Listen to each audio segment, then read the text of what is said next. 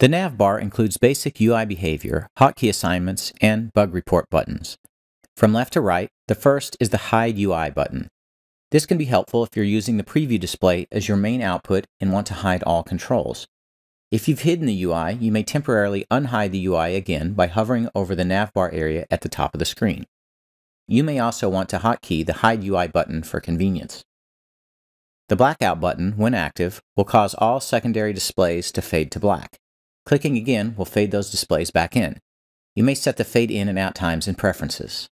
The Media Manager button will display or hide all panels related to managing the playlist. The Preferences button will open application setup panels.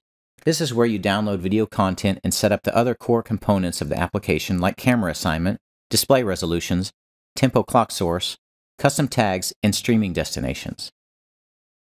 The Hotkey Edit button allows mapping of UI controls to MIDI messages or the PC keyboard. This could be a button, knob, slider, or even menu item. When engaged, all assignable controls will be highlighted in green.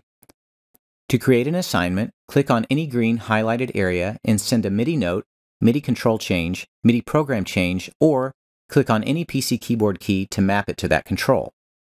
The Report button allows you to provide feedback to our team when you encounter a bug or have a feature request.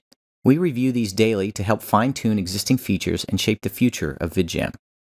To the right are the window controls. Minimize and windowed modes are standard, while Always on Top forces VidJam to remain on top of other apps.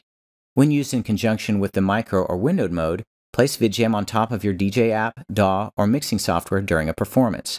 This minimizes the space required to operate VidJam to help keep your focus on your musical performance while maintaining control of VidJam's core features when needed.